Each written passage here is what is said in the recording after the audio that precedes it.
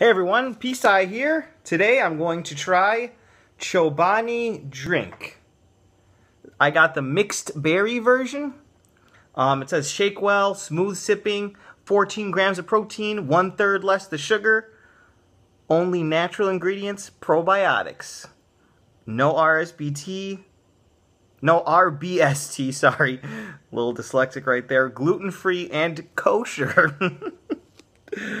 so your ingredients are, you know, low fat yogurt, water, evaporated cane juice, which is sugar. God, they're so tricky. Um, blueberries, raspberries, blackberries, organic honey. That's interesting. Natural flavor, pectin, chicory root fiber, lemon juice concentrate, locust bean gum, fruit juice concentrate for color, and it obviously contains the live and active cultures. I'm not going to try and pronounce those. You know what's in Chobani. Um, so yeah, let's just shake this up and try it. Uh, the whole bottle is uh, 200 calories, 5 grams of fat.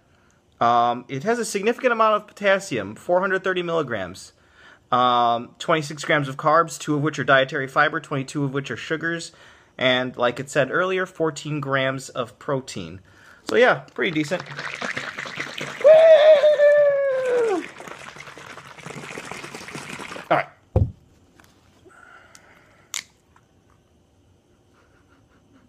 Smells just like yogurt, but obviously it's a little runny in drinkable form.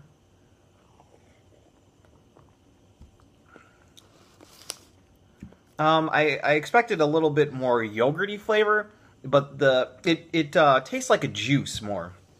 It's not really like a yogurt.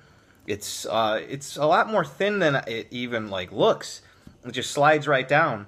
Um, it basically tastes like a strong berry drink.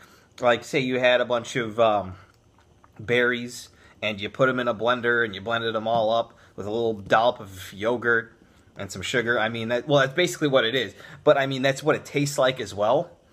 Um, it's really tasty though, but it's just not what I was expecting. I guess this is a pleasant surprise. Yeah. Just uh, all the yogurt, uh, it basically like eating yogurt, but it immediately spreads throughout your whole mouth. And uh, you can really feel all of the nice flavors on your tongue. So yeah, I would definitely give this... I'd give this a 10 out of 10. Definitely would recommend. It's delicious, made with natural ingredients uh, very healthy for you. And yeah, I mean, what else could you ask for?